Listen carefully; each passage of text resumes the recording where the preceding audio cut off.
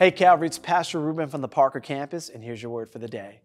I remember crying out to God so specifically during a very difficult time in my life, and I wanted to hear from Him. I wanted Him to give me answers right then and there. And as I sat there waiting to hear from Him, I heard Him say, I heard Him say, nothing. Total silence. I heard crickets. Has that ever happened to you? Have you ever cried out to God and felt as if He is being silent during the most difficult times in your life? Because that's exactly how I felt, and that's exactly how the psalmist felt in Psalm 83. You see, the nation of Israel is facing a national crisis, and all their enemies are conspiring against them. Listen to how this psalm starts in Psalm 83, starting at verse 1. It says this O God, do not keep silence. Do not hold your peace or be still, O God. For behold, your enemies make an uproar. Those who hate you have raised their heads. Uh, they lay crafty plans against your people. They consult together against your treasured ones. They say, Come, let us wipe them out as a nation. Let the name of Israel be remembered no more. The writer felt as if God was being silent in one of the most difficult times in his life and for the nation of Israel. But the truth is, God is not silent.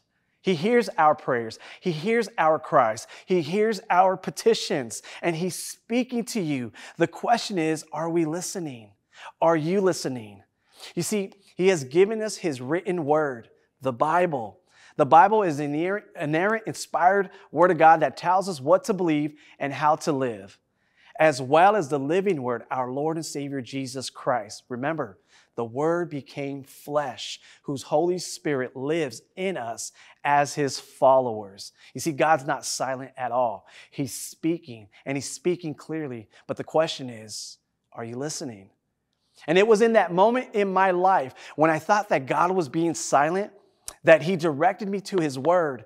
And I heard Him through His Word. I listened to Him and I applied the Word to my life. And I held on to that Word that He spoke to me during the most difficult season in my life. And because of that, it not only saved my marriage, but completely restored it to what it is today. So the next time you're going through a difficult time, remember, God is speaking to you. He's not silent, but He's speaking to you through His Word. Listen, if you don't have a Bible, we would like to bless you with one. We would love, uh, it, we would love for everyone to have the Word of God because we know that if you read the Word of God and apply the Word of God to your life, that He will change your life. And that's what we're all about here at Calvary. So, again, are you listening? Because God is speaking. God bless you and have a wonderful day.